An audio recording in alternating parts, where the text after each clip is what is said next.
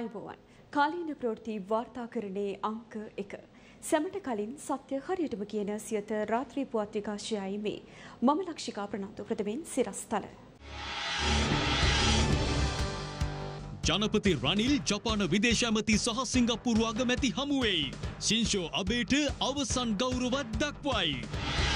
සදාකාලයට බිඳ වැටෙන නොරොච්චෝලයේ යළි වැටෙයි. විදුලි කප්පාදුව දීර්ඝවෙයි. පෞද්ගලිකංශයෙන් හදිසි විදුලිය මිලදී ගැනීමටත් අවසර. බාල බොරතෙල් ගැන විදුලි පාවිච්චි කරන්නන්ගේ සංගමෙන් අනාවරණයක්.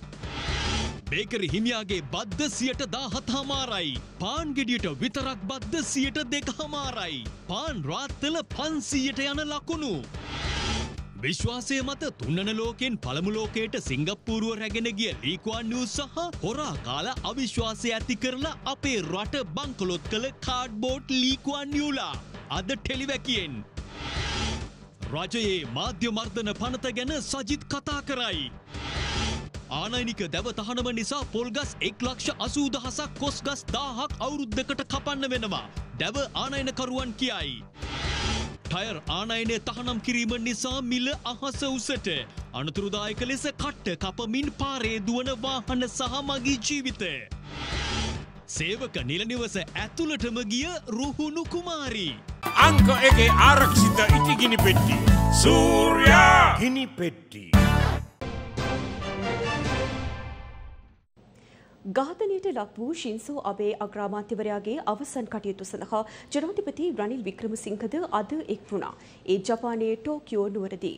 අවමගුල් උත්සවයට සහභාගී වීමට පෙර ජනාධිපති රනිල් වික්‍රමසිංහ ජපාන විදේශ ඇමති සහ සිංගප්පූරු අග්‍රාමාත්‍යවරයාද හමු වුණා. ශ්‍රී ලංකාවේ ණය ප්‍රතිව්‍යුහගත කිරීම සඳහා ණය හිමියන් සමග මූලිකත්වයේ ගෙන කටයුතු කරන බවයි ජපානය මෙහිදී සහතික වී ඇත්තේ. මේ අතර සිංගප්පූරුව සමග නිදහස් වෙළඳ කිවිසුම ක්‍රියාත්මක කිරීමට සූදානම් බවද ජනාධිපතිවරයා සිංගප්පූරු අගමැතිවරයාට ප්‍රකාශ කර තිබෙනවා. ජපානයේ හිටපු අග්‍රාමාත්‍ය ශීෂෝ අබේගේ අවසන් කටයුතු සඳහා ජනතිපති රනිල් වික්‍රමසිංහ අද සහභාගී වුණා. ජපානයේ හිටපු අග්‍රාමාත්‍ය ශීෂෝ අබේගේ අවසන් කටයුතු පැවැත්වුණේ ටෝකියෝනුවර නිපොන් බුඩෝකාන්හිදී. පූර්ණ රාජ්‍ය ගෞරව සහිතව මෙම අවමංගල්‍ය උත්සවය සංවිධාන කර තිබුණා. His Excellency the former President of the French Republic. අමරික එක්සත් ජනපදයේ උපජනාධිපති කමලා හැරිස් ඇතුළු විදෙස් රාජ්‍ය නායකින්ද මෙම අවමංගල්‍ය උත්සවයට සහභාගී වුණා. මේ අතර ජනාධිපති රනිල් වික්‍රමසිංහ අද ජපාන විදේශ අමාත්‍ය යොෂිමාෂා හයාශී හමු වී තිබෙනවා. ශ්‍රී ලංකාවේ ණය ප්‍රතිවිහුවගත කිරීම සඳහා ණයහිමියන් සමග ප්‍රමුඛ කාර්යභාරයක් ඉටු කිරීමට ජපානය සහතික කරන බවයි මෙම සාකච්ඡාවට එක්වෙමින් ජපාන විදේශ අමාත්‍ය යොෂිමාෂා හයාශී ප්‍රකාශ කර තිබුණේ. එසේම පුනර්ජනනීය බලශක්තිය ඉහළ නැංවීමට කැප වන බවත් ශ්‍රී ලංකාවේ අනාගත ආයෝජන අවස්ථා ගවේශණය කිරීමට කැමැත්ත පළ කරන බවත් ජපාන විදේශ අමාත්‍යවරයා ජනාධිපති රනිල් වික්‍රමසිංහට මෙහිදී සහතික වී තිබෙනවා. මේ අතර ජනාධිපති රනිල් වික්‍රමසිංහ සිංගප්පුරු අග්‍රාමාත්‍ය ලීසෙන් ලූද හමු වී තිබෙනවා. මෙහිදී සිංගප්පුරුව සමග ඇති කරගත් නිදහස් වෙළඳ කිවිසුම ක්‍රියාත්මක කිරීම තම රජයේ ප්‍රමුඛ අරමුණක් බව ජනාධිපති රනිල් වික්‍රමසිංහ අවධාරණය කර තිබුණා. ශ්‍රී ලංකාවේ ආර්ථික අර්බුදය සමනය කිරීම සඳහා ජනාධිපතිවරයා ගෙන යන වැඩපිළිවෙල පිළිවෙල පිළිබඳ ප්‍රසාදය පළ කළ සිංගප්පුරුව අක්‍රාමාත්‍යවරයා තවදුරටත් ප්‍රකාශ කර සිටියේ සිංගප්පුරුව යළිත් වරක් ශ්‍රී ලංකාවේ ආයෝජනය කිරීමට අපේක්ෂා කරන බවයි. දීර්ඝ විදුලි කප්පාදුවක් පිළිබඳව පසුගිය දින කිහිපය පුරා තොරතුරු වාර්තා කෙරුණා. ගල්ලංගුරු අර්බුදය හේතුවෙන් මෙවැනි තත්ත්වයක් උදා වනු ඇති බවට ප්‍රකාශ වුවද එම අර්බුදය නිර්මාණය වීමටත් පෙර දීර්ඝ විදුලි කප්පාදුවකට යාමටයි සිදුව ඇත්තේ. ඒ නොරොච්චෝලේ ගල්ලංගුරු බලාගාරයේ තුන්වන ජනන යන්ත්‍රය යලි බිඳ වැටීමත් සමගයි. ඒ අනුව පැය තුනක පමණ විදුලි කප්පාදුවක් අද සිදු කිරීමට නියමිත බව මහජන උපයෝගීතා කොමිසම පවසනවා.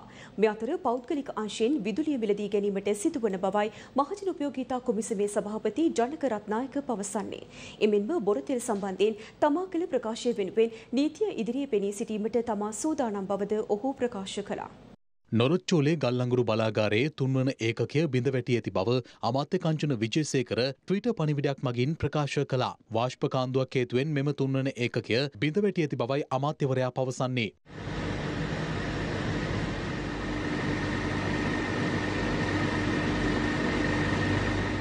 මේ විදුලි බලාගාරයේ නැතිවීම නිසා අපිට මෙගවට් දෙසිය හැත්තෑක වන විදුලි ජන්න ප්‍රමාණයක් නැති වෙනවයි නැති වෙන ප්‍රමාණය අපි විකල්ප මාර්ග වලින් දැන් ගැනීම සඳහා අවශ්‍ය පියවර ගන්නවා. ඒ සඳහා අවශ්‍ය ඉන්ධන මේ අවස්ථාවේ ලැබෙමින් පවතින නිසා අද විදුලි කප්පාදුව පැය 2යි විනාඩි 20ක් තිබුණු විදුලි කප්පාදුව අද දිනට පමණක් පැය 3ක් දක්වා දීර්ඝ කරලා නැවතත් හෙට දිනේ සිට පැය 2යි විනාඩි 20ක් දක්වා අඩු කිරීමේ ක්‍රමවේදයකට තමයි අපි යන්න යන්නේ. හදිසි තත්වයෙන් ගොඩ ඒම සඳහා ඊළඟ දවස් කිහිපය සඳහා අවශ්‍ය විදුලිය පුද්ගලික අංශයෙන් ලබාගෙන මේ තත්වය විදුලි කප්පාදුව අඩු කරගෙන යෑමේ හැකියාව අපිට දැන් තියෙනවා. මේ අතර මෙරටට ගෙන් වූ බාල බොරතෙල් සම්බන්ධයෙන් අද යළිත් සභාපතිවරයා මෙලෙස අදහස් පළ කළා. ඒ වගේ මගේ තව චෝදනාවක් තිබ්බා මේ වැරදි ක්‍රූඩ් ඔයිල් එක. ඒ කියන්නේ බොරතෙල් ගෙනල්ලා ඒ නිපදලා තියෙන ෆර්නස් ඔයිල් එක අපිට බලාගාරවල පාවිච්චි කරන්න බැරි තත්ත්වයක් ඇති මේ චෝදනා හැම තාම තියෙන. දැන් ඊයේ දිනේදී අමාත්‍යවරයා චෝදනා කරා ඔබතුමා කරන්නේ සාවාද්‍ය ප්‍රකාශ කියලා ඒ සම්බන්ධයෙන් නෛතික කටයුතු වලට යනවායි කියලා. ඒ වැරද්ද කියන පුද්ගලයාගේ විරුද්ධව නීතිමය කටයුතු කරනවා කියන මම හිතන්නේ විහිළු විහිළුවට කාරණාව. මම හිතන්නේ මම කැමැත්තෙන් ඉන්නවා ඒ වගේ නීතිමය තත්ත්වයක්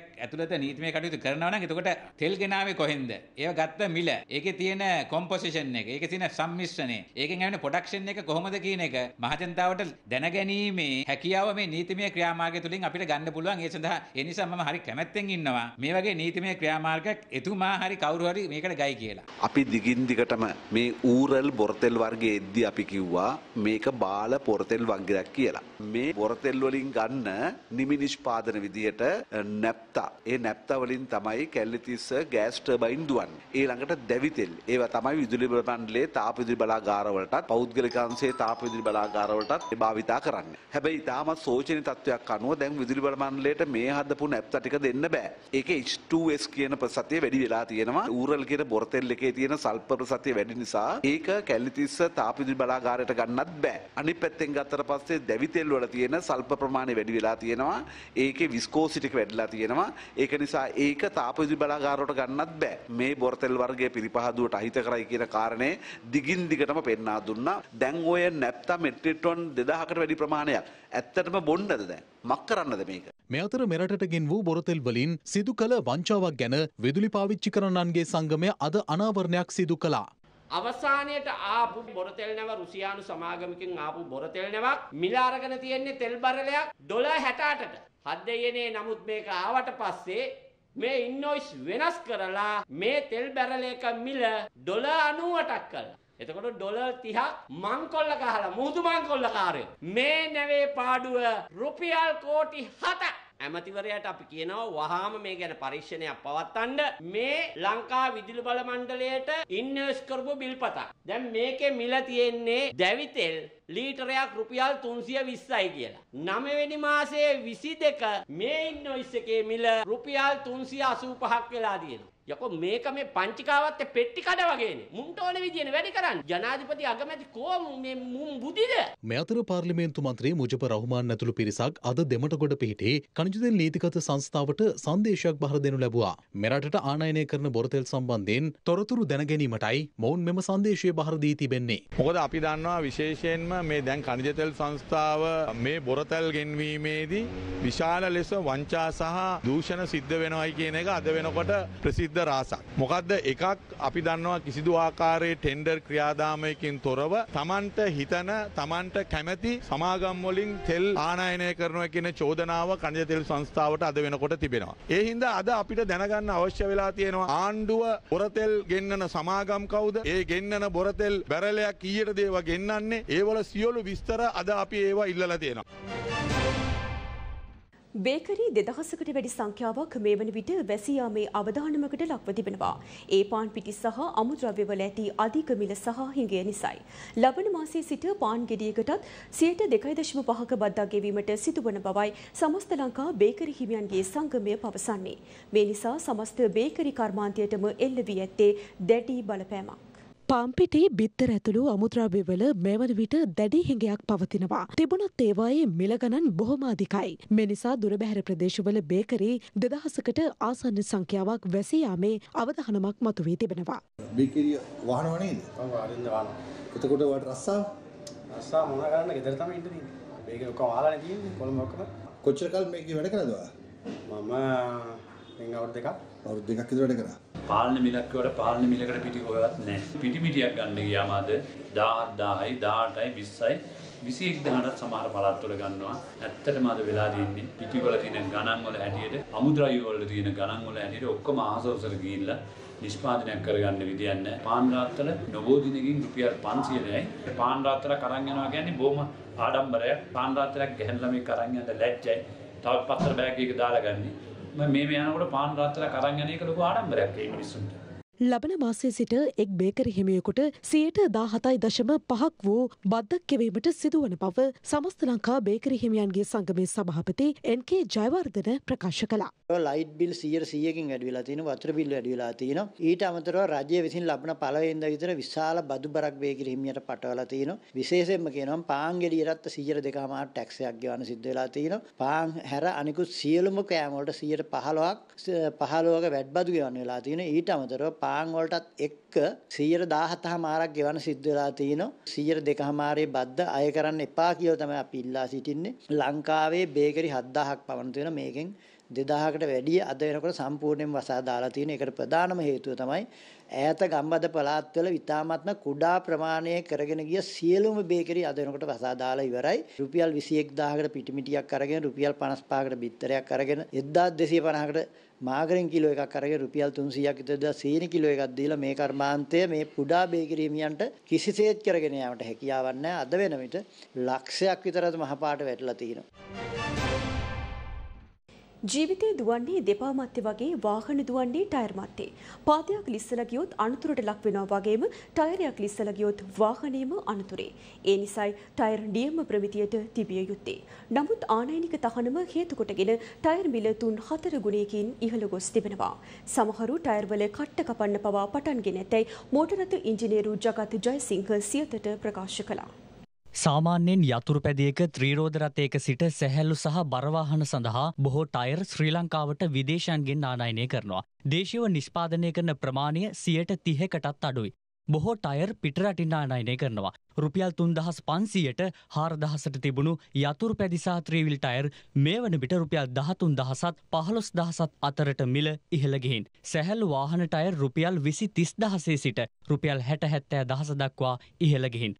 මේ නිසා අද වාහන හිමියන් කට්ට ගෙවුණු ටයර් එක්ක අනතුරුදායක ගමනක යෙදෙන බව කිව යුතුයි. අමතර කොටස් වාරණය කළා ආනයනය නවත්තලා මේ රට දුවන්න පුළුවන් නැත්තම් මේකෙන් මේ ලොකු ගාණක් ඉතුරු කරගන්න පුළුවන් කියලා ඒක ඇත්තටම විහිළුවක්. දැන් මම දැක්ක පහුගිය දවසක වාහනයක තියෙනවා ටයර් එකේ කට්ට කපලා තියෙනවා. කට්ට කපපු ටයර් එකක් හයිවේ යනකොට ඒ වාහනේ අනතුරට පත් වුණොත් හිතන්න තව වාහන කීපයක් ඕකේ ගිහිල්ලා වදිනවනේ. මේවා මේ කරලියට ගෙනාපු මිනිස්සු මේවට වග කියන්නේ. අමතර කොටස් නැති උනායි කියලා එයාලට ප්‍රශ්නයක් නැහැ. මොකද ඒගොල්ලන්ගේ වාහන වලට ඕන තරම් බඩු තියෙනවා. අමතර කොටස් හිඟවීම අධික මිල වැඩිවීම අවසාන ප්‍රතිඵලයට හැටියට එන්නේ හාමාර්ගයේ දුවන්නේ ලෙඩ රෝග පිරිච්ච දෝෂ සහිත වාහන. මේ පාරවල දුවන්න පුළුවන් විදියට වාහනේ නඩත්තු කරගන්න බොහෝ දෙනෙකුට බැරි වෙලා තියෙනවා. අවසාන ප්‍රතිඵලයේ හැටියට අනතුරුදායක තත්ත්වයක් මේ වාහන නිසා ප්‍රවාහන ශේෂ්ත්‍ර නිසා ඉදිරියේදී ඇති වෙන්න පුළුවන්. ටයර් එකල ගණන් ඉදිරියට දැන් මේ ටයර් එක පරණ කෙම්ම තියාගෙන යනවා සමහර කල දුවන්නේ නැති ඉන්නවා ටයර් වලට ගහන විදිහ දැක්කම බඩපපුවල් දාලා යනවා. දැන් මේ කණ්ඩවත් නැති කාලේ බොහොමද අපි මේ කරන්නේ. බොහොම අමාරුවෙන් මේ ජීවත් වෙන්නේ. ඒක ටයර් එකක් 7500ක්ලු.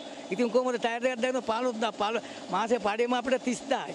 30000කින් 15000 කෙතෙන්ට යටුණාම ඒතකොට අනිත් ඒවා ජීවත් වෙන්න විදියක් නෑ අපිට.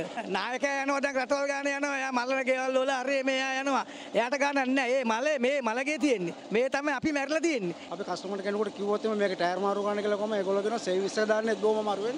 ඉතින් කොහමද ටයර් එකක් දාන්නේ කියලා. ටයර් වල තමයි මනුස්සගේ ජීවිතේ තියෙන වාහනය යනකොට මේ ටයර් මිල තව ටිකක් අඩු කරන්න කියලා තමයි මට කියන්න තියෙන්නේ. ඒ කියන්නේ අලුත් ටයර් දාන්න කස්ටමර්ස්ලා සල්ලි නැති ඉන්න ගොඩක් අය හොයනවා second hand tyre. Second hand tyre වලත් තියෙනවා මේ කට්ට කපපු ටයර්. කට්ට කපපු ටයර් දාන එක ඉතාමත්ම අවදානම්. ගණන් හිතන්නවත් බෑ. ඒ තරම් බර විදිහට ගණන් ඉස්සර තිබිච්ච එකෙන් දෙකට එකට එකක් වැඩි. ගණ්ඩ බෑ මේ අමාරු මේකේ ගාන වැඩි. මේ ට්‍රීවිල් ටයර් එක ගන්නකොට මාස 3යි 6යි පාවිච්චි කරනකොට මේක වැඩක් නැහැ. මිල ගණන් නම් දැන් රුපියල් 6000ක් කරන ටයර් එකක් මාරු කරන්න. අපිට දැන් ජීවත් වෙන්න අමාරු.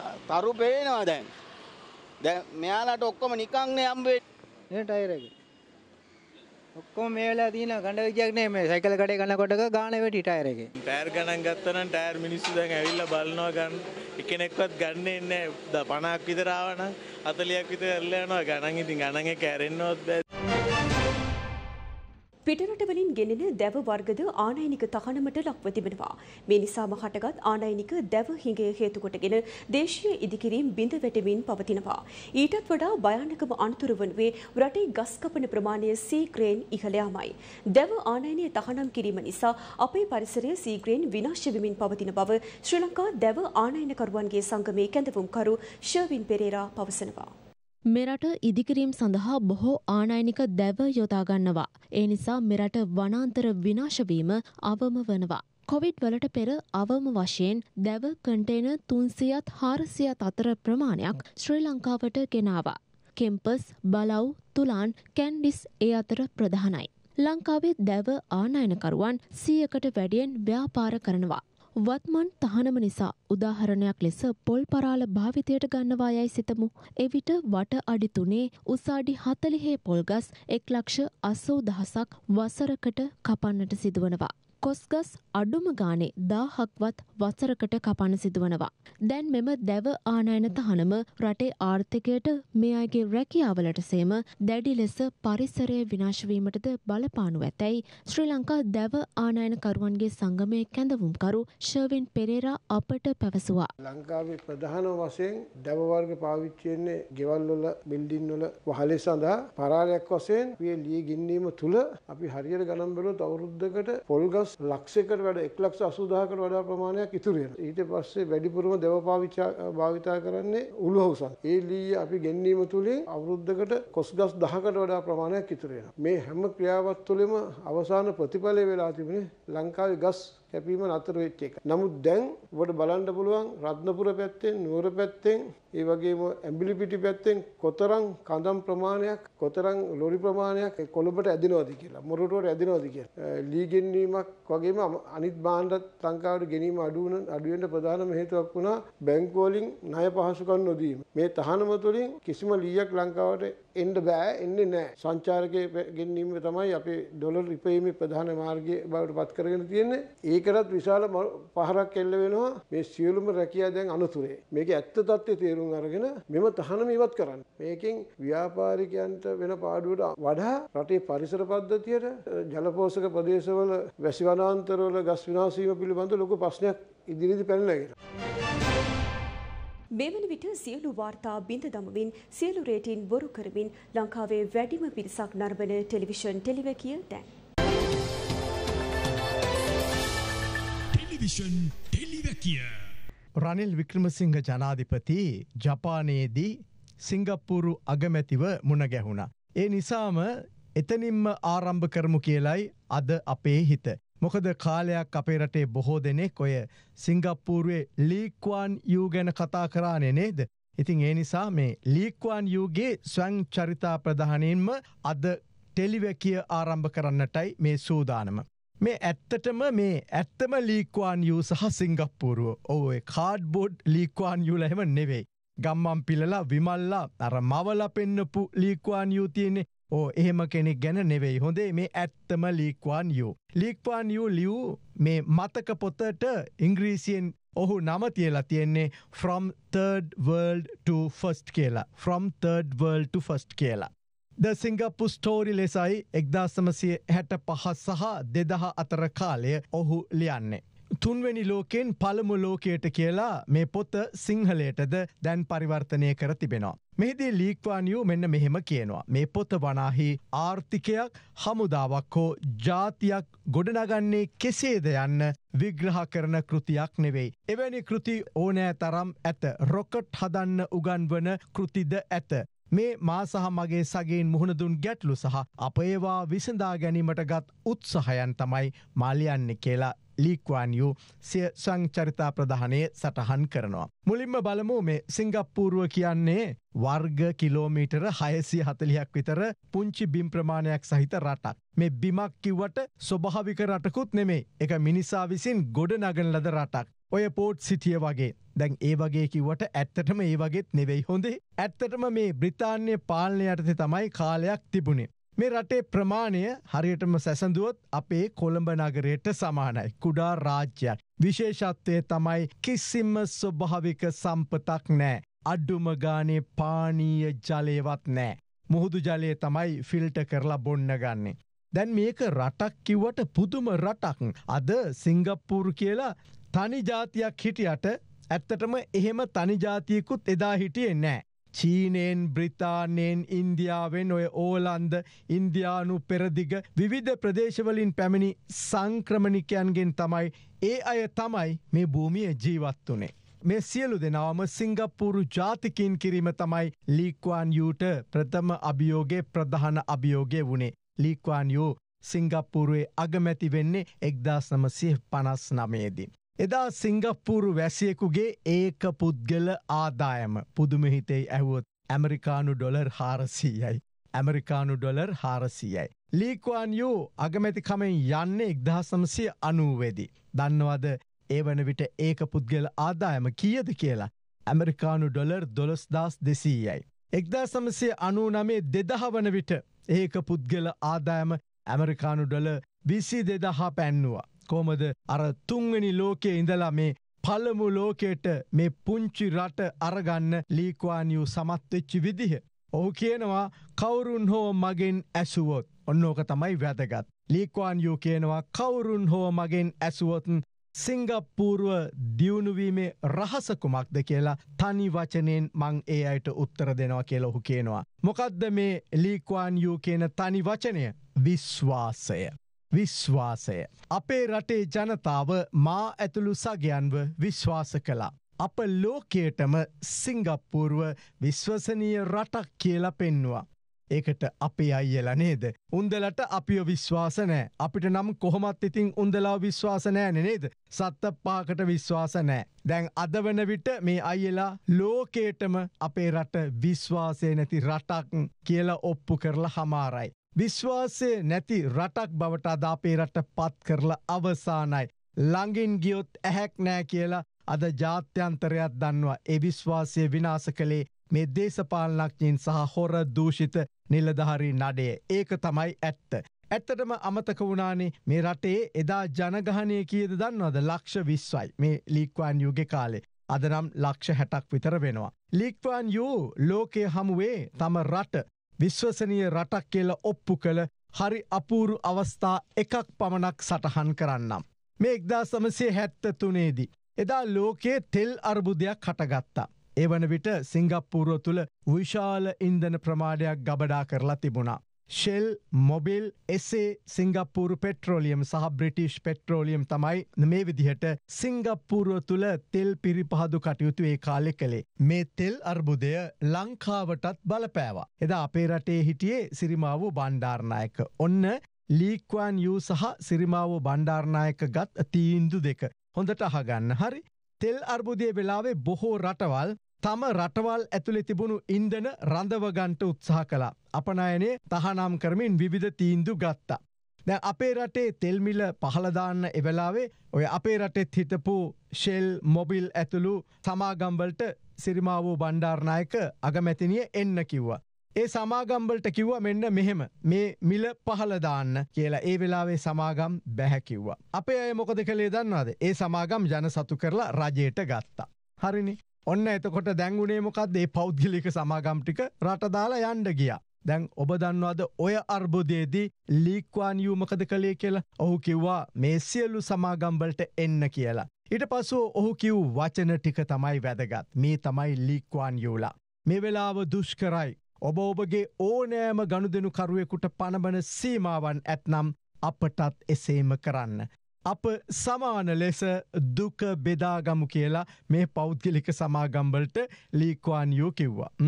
දැන් මේ හොඳට අහගන්නක ආයිවතාවක් මේ වෙලාව දුෂ්කරයි. ඔබ ඔබගේ ඕනෑම ගණුදෙනු කරුවෙකුට පණමන සීමාවන් ඇත්නම් අපටත් එසේම කරන්න. මේ ලීක්වාන් යූ කියනවා තමන්ගේ රට ඇතුළේ තියෙන සමාගම්ටිකට අපි සමාන ලෙස දුක බෙදාගමු කියලා.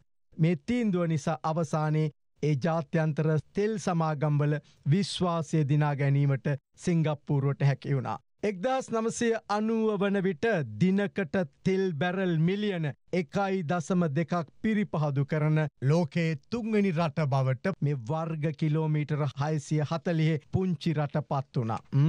ඉතින් මීටත් වඩා කුමන උදාහරණද නේද ලීක්වානියු ලව තේරුම් ගන්න දැන් තේරනවාද ඔය අපේ දේශපාලන පචෝරිස්ලා දන්න ලීක්වාන්යූ කෙනෙක් නෑ කියලා. ඇත්තම කිව්වොත් හිට්ලර්ව දන්නෙත් නෑ. හිට්ලර්ටත් වඩා භයානක පොල් පොට්ට තමයි දැන් ඔය හිට්ලර් කියලා රැවටිලා ඉන්න කියලා අද ටෙලිවැකිය අවසන් කරනවා ඕනෙම නම් පොල් පොට්ට කියවලා බලන්න. අනුග්‍රහය. දෘෂ්ටි විද්‍යාවේ ඇඩ්වාන්ස් කෙමිස්ට්‍රි කාස්ටිං කියන්නේ පලපුරුදු විශේෂඥ ඥානයක් සහිත අයට පමණක්ම සීමාව ඉතාම සියුම් ක්‍රියාවලිය. මේ සඳහා හොඳම විශේෂඥයෙන් වන්නේ ජෝර්ජ් කුණරත්ත ලෙන්ස් එක්ස්පර්ට් ආයතනයයි. අලුත් නොක්කෙත් ඇවිල්ලා. බලමු. යමු. කොහොමද ඉතින් වෙනසනං සුපිරේස පෙරලියෙන් කරලියට සුචාතනයමුවන්ගේ තිමිරිකය CIPM. අලුත්කඩේ උසාවි සංකීර්ණය ඉදිරිපිට අද නීතිඥවරුන් පිරිසක් විරෝධතාවයක නිරත වුණා.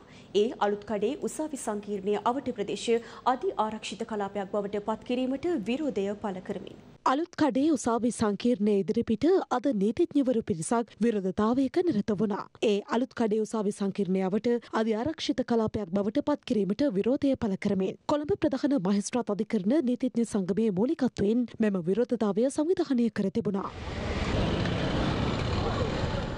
අධිකරණය සංකීර්ණය පවතින මේ ප්‍රදේශය අධ්‍යාරක්ෂක කලාපයක් හැටියට පත් කරලා මේක පොලිස් DIG කෙනෙක් යටතට දාපුවාම මේක අධිකරණයේ පැවැත්ම සම්බන්ධයෙන් ලොකු ප්‍රශ්නයක් මේ. මෙච්චර කාලයක් මේක අධ්‍යාරක්ෂක කලාපයක් කරලා නැහැ. නෑ අනිත් එක කවුද මේක බලන්නේ? දේශබන්දු දෙන්නකෝන්. දේශබන්දු දෙන්නකෝන් කියන්නේ ගෝටාගෝ ගම ඒ සිද්ධියේ නීතිය ක්‍රියාත්මක කරපු නැති නිලධාරිය. ඔහු මේ වෙනකොට විත්තිකාරයෙක් හැටියට උසාවියේ ඉන්න ඕන පුද්ගලයෙක්. මේ රටේ ඉන්න නීතිපතිට කොන්දක් නැහැ. දේශබන්දු තෙන්නකෝන්ව අත්අඩංගුවට අරගෙන ඉදිරිපත් කරන්නයි. අනිල් වික්‍රමසිංහ මැතිතුමාට කියන වහම් මේක ඉවත් කරගන්න මේ නීතිය වහම් වෙනස් කළ යුතුයි. ඒකට එතුමා හිස නමලා මේක ඉවත් නොකරුවොත් දැවන්ත අරගලය දක්වා මේ සටන අපි ගෙනියනවා. අසාර්ථක පාලකයෝ අසාර්ථක ආණ්ඩු දිගින් දිගටම මේ රටේ ජනතාවගේ ප්‍රශ්න විසඳනවා වෙනුවට ජනතාවගෙන් එන හඬ යටපත් කරන්න ක්‍රියාකාරීන් මර්ධනය කරන්න මේ විදිහට විවිධ මරවුගුල් ගෙනමින් තමයි තියෙන්නේ. එවැනි මරවුගුලකට විරුද්ධව තමයි අද මේ වෙනකොට මේ නීතිඥ ප්‍රජාව එකතු වෙලා මේ හඬ නගන්නේ. රජය මාධ්‍ය මර්ධනය කිරීමට නව පනතක් ගෙනීමට සූදානමින් සිටින බවට විපක්ෂ නායක සජිත් ප්‍රේමදාස චෝදනා කරනවා. ඖෂධ මිලදී ගැනීමට මුදල් නැති ආණ්ඩුව කඳුළු ගෑස් ආනයනය කර ජනතාව මර්ධනය කරන බවයි ඔහු පෙන්වා දෙන්නේ. ඒ සමගි ජනබලවේගේ කටුකම්පල ආසන බල මණ්ඩල රැස්වීම අමතමින්. ප්‍රශ්න දිග්ගැස්සෙනකොට රට බංකොලොත් වෙලා මිනිස්සු මහපාරට බයිනකොට මේ රට විනාශ කරපු රාජපක්ෂ පවුලේ තුන් දෙනෙක්ම ෂේප් වෙලා ඉන් වුණා. නමුත් බලන්න ගහපු ගැටේ එහෙම ෂේප් වෙලා රාජපක්ෂ පමයෝ 134ක් එකතු වෙලා රාජපක්ෂ පවුල රකින්න රාජපක්ෂ හොර හවුල ආරක්ෂා කරන්න මේ රට විනාශ කරපු මේ රටේ ඩොලර් හොරා කාපු හොර කප්පිත්තෝ ටික රැකගන්න හොරු රකිනාණ්ඩුවක් නිර්මාණය කර. දැන් ත්‍රස්තවාදය වැලැක්වීමේ පනත මාධ්‍ය මර්ධන පනත තවත් මර්ධන ක්‍රියාදාමයන් රසක් මේ අය අර්ගන එනවා මොනෝටද මිනිස්සු බය කරන්න. ස්තිරගත කරනවා පාහර දෙනවා නිදහස ඒකතු වෙන්න බෑ හැම රැස්වීමකටම උත්තරය කඳුළු ගෑස්. බැටන් පොළු ප්‍රහාර මිනිස්සුන්ගේ ජීවිත අනතුරේ බෙහෙත් ගෙන්න්න නොවෙනුවට මොනෝද ගෙන්න්නන්නේ කඳුළු ගෑස් මෙන්න ආණ්ඩුව කරනදී. රුහුණු කුමාරී දුම්රිය දෙමටගොඩදී දුම්රිය සේවක නිල නිවසක් තුළට අද පසුරුවේ කඩාගෙන ගොස් තිබෙනවා. ඒ මාතර සිට මරදානට පැමිණෙන අවස්ථාවේදී. රුහුණු කුමාරී සීග්‍රගාමී දුම්රිය සේවක නිල නිවසක් ඇතුළට දුම්රිය අංගනෙන් පිටතට පැන ධාවනය වී තිබෙනවා. මෙම දුම්රිය ධාවනය කළ රියදුරු සහයකගේ වැඩ ෂණිකව තහනම් කිරීමටයි දුම්රිය පාලන අධිකාරය කටයුතු කොට ඇත්තේ. රියදුරු සහයකගේ වැඩ තහනම් කිරීම සම්බන්ධයෙන් විරෝධය පළ කරමින් දුම්රිය රියදුරු සේවකවරුන් ෂණික වෘතිය සමිති ක්‍රියාමාර්ගයක් අරගත් බවයි වාර්තා වන්නේ. ඒ හේතුවෙන් සවස ධාවනය වන දුම්රිය කිහිපයක් අවලංගු කිරීමට දුම්රිය දෙපාර්තමේන්තුවට සිදුවනා. දැන් ව්‍යාපාරික පුවත් විශේෂාංගය. පිරිස් කළමනාකරන අධ්‍යනයේදී ශ්‍රී ලංකාවේ ප්‍රමුඛතම ආයතනය වන්නේ CIPM ආයතනයයි. එහි නව සන්නාම තානාපති ලෙස ශ්‍රී ලංකා එක්දින සහ විස්සයි විස්ස නායක දසුන් ශානක පත් කර තිබෙනවා. I would like to thank all the members giving me the opportunity to join the hands with you guys. So where I consider it's a great honor and a privilege to become the brand ambassador of CIPM. So I would say it's a great opportunity to me where I didn't tick uh, the box where the education. So I did my A levels. So after that I couldn't complete any of the degrees. So nothing. So where I could have done. So I think personally the partnership will help me as a leader plus a good human uh, to the society where I could de- deliver more to the country. මෙරට ආර්ථික අර්බුදයට මුහුණ දී සිටින අවස්ථාවක බිම් මට්ටමේ ආර්ථිකය ශක්තිමත් කිරීම සඳහා සනස සමිති ව්‍යාපාරය මගින් ග්‍රාම සම්බර්ධන වැඩසටහනක් ආරම්භ කර තිබෙනවා. ඒ වෙනුවෙන් සනස සමිති ව්‍යාපාරයේ ජාතික සංවිධාන දා හතක අධ්‍යක්ෂකවරුන් සහ ප්‍රධාන විදායක නිලධාරීන් කැඳවා සාකච්ඡාවක් පසුගියදා පැවැත්වුණා. අපි ස්ලෝගන් එකක් විදිහට නැත්නම් උද්ෘත පාඨයක් විදිහට අපි කතා කරනවා අපේ වැය අඩු කරමු. වැය අඩු කරනවායි කියන එක සාමාන්‍ය ගෘහ මට්ටමේ ඉඳලා ජාතික මට්ටම දක්වාම මේ පණිවිඩය අපි දෙන්නට ඕන. දෙවෙනි කාරණය තමයි අපි දැනට කරන වැඩ වඩාත් අගේ දාමයක් කින් අලුත් අලුත් දේවල් ඒවට ඇතුල් කරලා ඒවයේ නිෂ්පාදන ශක්තිය සහ එයින් ලබන ආදායම වැඩි කිරීම. ඒ නිසා අපි වෑයම් කරනවා ආදායම වැඩි කරන්න ක්ෂණික වැඩසටහන් බිම් මට්ටමින් අපි ආරම්භ කරන්න ඕනයි කියලා. රාත්‍රී පුවත් විකාශය අවසන්. අලුත් කතා වැඩසටහන සමඟ ඔබට බෙදැන් සිට එක්විය හැකි සුභරාත්‍රයක්.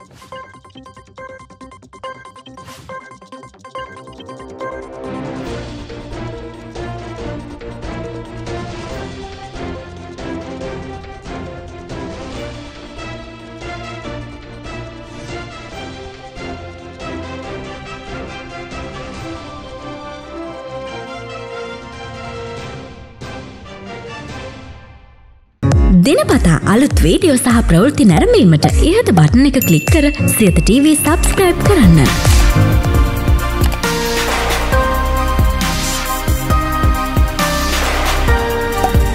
අලුත් වීඩියෝ ගැන මුලින්ම දැනගන්න මෙම සීනුව ක්ලික් කරන්න.